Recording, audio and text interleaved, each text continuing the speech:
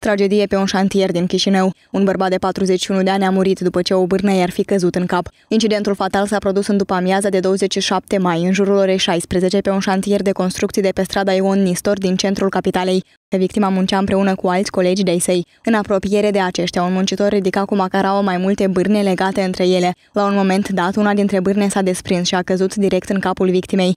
Imediat la fața locului s-a deplasat grupa operativă a Inspectoratului de Poliție a sectorului Centru, procurorul de serviciu a sectorului Centru și reprezentanții Inspecției Muncii. Totodată s-a mai stabilit că Macaraua, în timp ce ridica o grindă din grafaj, ajungând la nivelul 10, s-a desprins și a căzut jos direct peste bărbat. În urma traumelor primite, bărbatul a decedat chiar pe loc. Forțele de ordine au constatat că în momentul când s-a produs incidentul, bărbatul decedat avea cască de protecție. Victima era angajată oficial la firma de construcții care muncea pe acel șantier. Cercetările continuă.